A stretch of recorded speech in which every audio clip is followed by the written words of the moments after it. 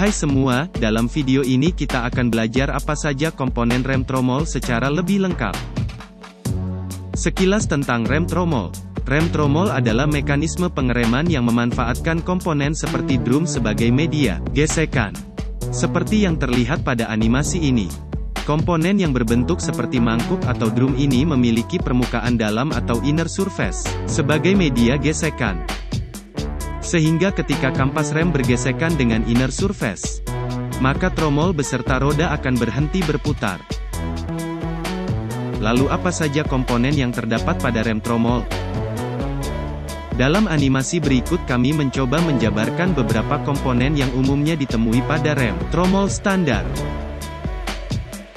1. Tromol rem atau drum. Seperti yang dikatakan sebelumnya, fungsi tromol adalah sebagai media gesekan. Anda pasti tahu, kalau sistem rem bekerja menggunakan prinsip gesekan antar dua benda. Benda pertama yang berfungsi sebagai penggesek adalah kampas rem sementara tromol rem merupakan benda yang tergesek. 2. Sepatu rem. Apabila tromol rem adalah media yang tergesek, maka kampas rem adalah media penggeseknya. Dalam aplikasinya, kampas rem selalu melekat pada sepatu rem. Sehingga kampas rem dan sepatu rem sudah terhitung satu unit komponen.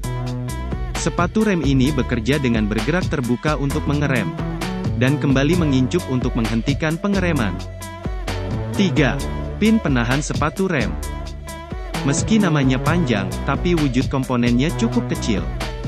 Pin ini memanfaatkan pegas untuk menahan sepatu rem agar tetap berada pada posisinya.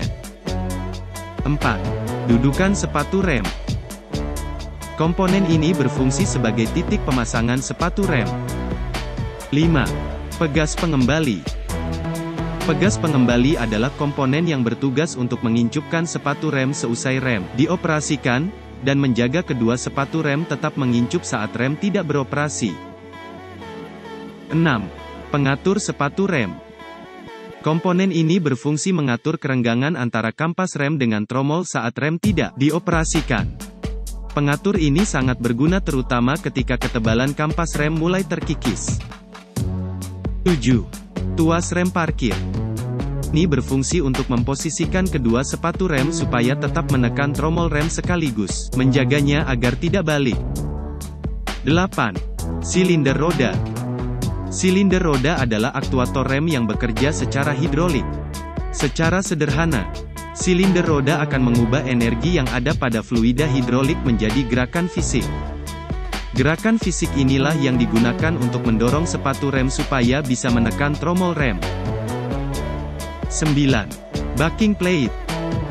Terakhir yang tidak boleh dilupakan adalah backing plate. Kalau dilihat sekilas komponen ini hanya berfungsi sebagai penutup bagian dalam sistem rem tromol. Tapi selain itu, backing plate digunakan sebagai tempat pemasangan beberapa komponen rem tromol. Itulah animasi 9 komponen rem tromol beserta masing-masing fungsinya. Semoga bermanfaat.